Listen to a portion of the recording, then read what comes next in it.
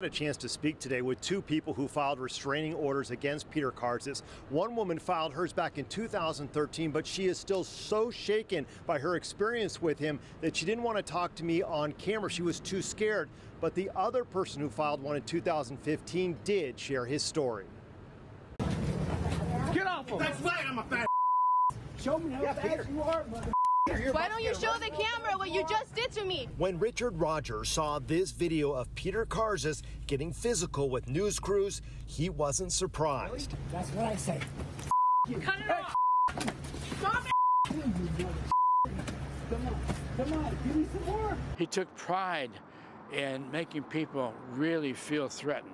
Richard says his friendship with Peter started out great. I got to like him. We got along. We were friends. You know, we had coffee together. In 2015, Richard rented a room in the back of Peter's clothing store on the Mesa Boulevard. But within four months, their relationship quickly deteriorated. He says, if you if you come back in this place, I'm going to kill you and I'll never find your body. I told the police, I went, well, we can't do anything about that. I said, well, I'm, I'm heading out. So I haven't, I haven't seen him since. Richard filed a restraining order that included a profanity laced handwritten note he says Peter left on his door saying, You need to be out or I'll put you out, and you will not like that. He went ballistic. You know, he, he was threatening me every day. Peter's former next door neighbor also filed a restraining order against him, claiming in 2013 Pete smeared dog feces on my garage door and driveway, came into my garage screaming obscenities and calling me foul names. He continues on a daily basis to intimidate me.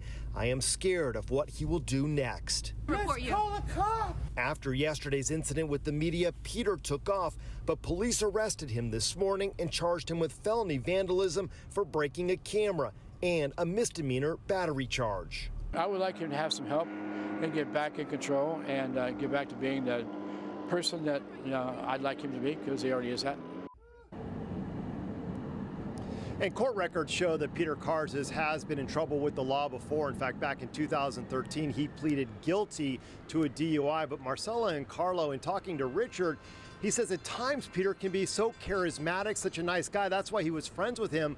But then he said other times, without warning, he would turn into this person who was very scary.